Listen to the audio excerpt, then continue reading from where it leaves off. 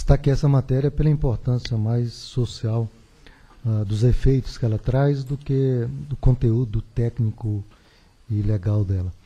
É uma proposta que estava prevista na regulamentação de radiofrequência, que aquelas operadoras que detinham a faixa, subfaixa L, para prestar o serviço móvel pessoal apenas de voz, como a, a parte da descida fica do lado da parte de subida da, da banda J, que foi licitada apenas 10 mais 10 MHz para 3G, ela poderia ser invertida e transformada, caso a operadora assim o quisesse, e ela passaria então a compor a nova banda J, aumentando então de 10 para uh, 15 MHz. Então a Vivo tem nessa faixa, que é em 1895 a 1900 para subir, e desce de 1975 a 1980, são 5 MHz.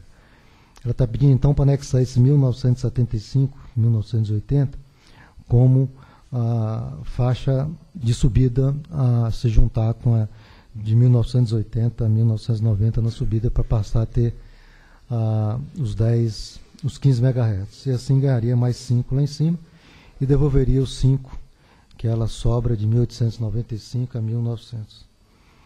Ah, essa previsibilidade tá, consta hoje do, do regulamento de, de radiofrequência, é, dizendo claramente que a operadora que presta serviço poderia, caso uh, viesse também a, a ganhar na licitação essa banda J, outra ela teria esse direito de ser comprado ou de se anexar à banda J.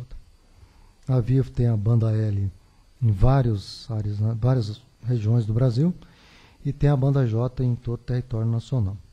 O edital de licitação, então, na, na, no seu item 9, 1.9, cláusula 1.9 do edital, previu, exatamente de acordo com o que está no artigo 26 da resolução, essa possibilidade deixou claro que caso isso viesse a ocorrer, ela teria que arcar com todos os compromissos advindos da licitação uh, da banda J, subfaixa J, no edital 3G. Não só dos compromissos, como também das garantias e dos valores que foram pagos pela banda J, uh, que teriam que ser atualizados.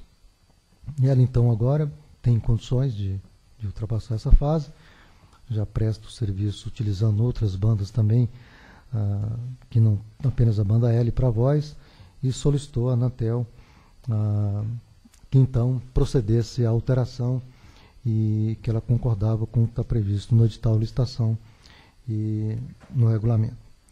A área técnica então consulta a Procuradoria, a Procuradoria concorda, ante o exposto, a Procuradoria está de acordo com, com o regulamento proposto, está de acordo com a regulamentação, então, passa então a fazer os, as contas e os cálculos. Nessa banda L, ela tinha compromisso de atender municípios com apenas ah, acima de 100 mil habitantes. Mas já na subfaixa J, inclui municípios com valores de população muito abaixo do que os 100 mil habitantes. E depois, com a licitação também até da banda H, onde nós tendemos para atender com 3G, municípios abaixo de 30 mil habitantes, então praticamente todos eles vão estar atendidos, acho que até 2019.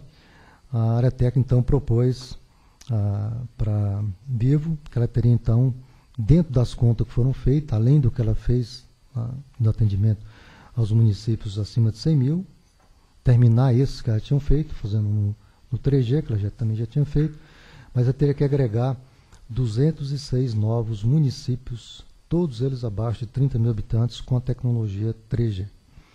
E nesses municípios deviam incluir já os municípios que estariam sendo, tá sendo emancipados, que acabaram sendo emancipados, que é Mujuí dos Campos, no Pará, Pescaria Brava, em Santa Catarina, Pinto Bandeira, no Rio Grande do Sul, Paraíso das Águas, em Mato Grosso do Sul, e mais um outro distrito de Santa Catarina que também uh, foi emancipado, e como emancipou agora, recentemente, também está sendo incluído. Então, esses cinco municípios vão ser incluídos, estão incluídos dentro desses 206 municípios, ela tem que atender, então, em seis anos a contar da assinatura desse novo termo. E no primeiro, no segundo ano, já tem que estar atendido esses novos municípios que acabaram de emancipar e que não tem na não tinha previsibilidade, então, na época de ter o serviço 3G, porque não tinham ah, não eram é, reconhecidos como municípios. E, em função disso, foi calculadas as novas garantias, as garantias passaram um valor de 17 milhões 937.264. Essas garantias têm que ser somadas às outras garantias que ela possui, que pode ser que sejam venham ser resgatadas durante o processo normal, e para que ela vai somar então um total maior e depois vai ter que retirar esses 17 milhões no final do sexto ano. Além disso, eles recalcularam ah, e incluíram, ah, definiram então né, um, um, um novo preço pelo direito de exploração dessa banda L, agora como fazendo parte como se banda J fosse, porque ela passou a, a compor. Ela, além de ter pago os valores que ela pagou no passado, ela tem que pagar mais 469 milhões 988 mil 623 reais, na forma prevista na, no edital de licitação. 10% agora e as outras parcelas divididas ou pagamento todo ele à vista. E aí tem todo um ritual, de uma forma como é que foi atualizado esses valores. Ah, e a Vivo tem que devolver, então, esse pedacinho da banda L, dos 5 MHz, de 1895 a 1900 MHz, porque ela vai utilizar os outros 5 lá em cima. E em função disso, ao, de, ao propor, ela propôs devolver todas elas até 31 de 12 de 2015, restando alguns municípios, alguns setores da região Nordeste para essa data. E ela, lógico, pediu isso porque nessa área ela não tem ainda, não tem, não presta o serviço na faixa de 800 MHz. Ah, então, em função disso, a lista desses 206 municípios consta aí do anexo 1, já aceita pela operadora. Então, para concluir, eu proponho o realinhamento dessa subfaixa L na subfaixa da banda J, né?